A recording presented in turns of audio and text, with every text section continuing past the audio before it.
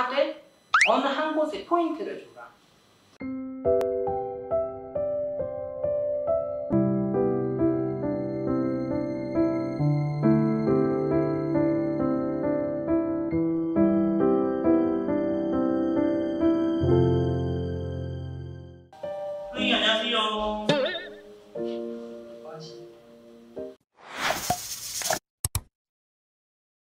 대구에서 서울까지 올라왔네요.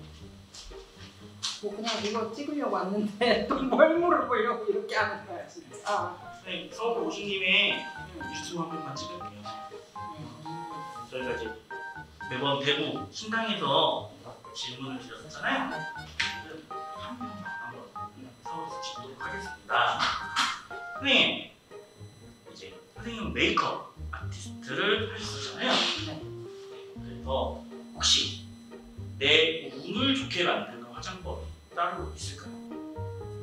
제가 저번에 눈썹 편을 했었죠. 네, 재물이 그때도 잼미 들어오는 눈썹 편을 했었는데 내 운을 좋게 하는 거 그때도 대충 말씀을 드렸을 거예요. 내 운을 좋게 하려면 사람이 나, 나 자신한테 일단 자신감이 있어야 돼.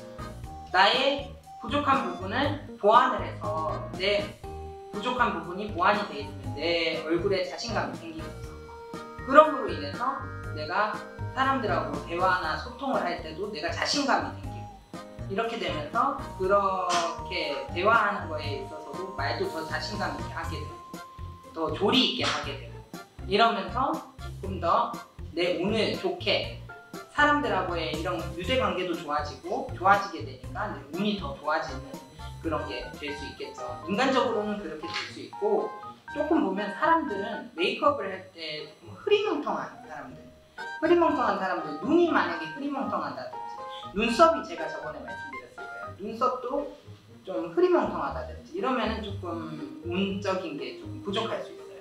그렇기 때문에 조금 그런 부분은 그러니까 또렷하게 메이크업적인 부분은 또렷하게 하시는 게 어, 자기 운적으로도 조금 더 좋다는 거.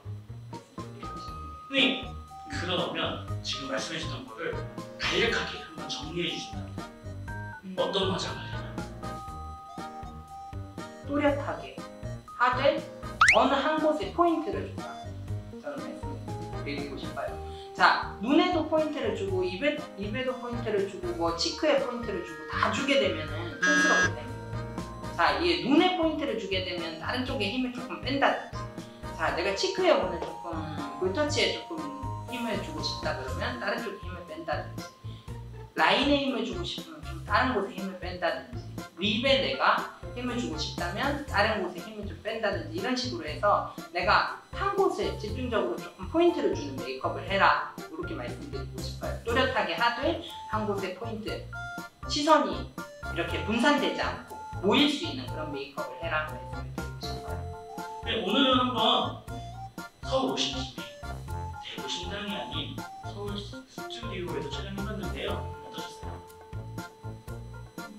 갑자기 그러니까 내가 좀 당황스럽긴 한데 네, 이런 것도 네, 그럼 바로 서울 올라와 주시면 서울 촬영하도록 하겠습니다. 네, 네, 오늘 고생하셨습니다. 네.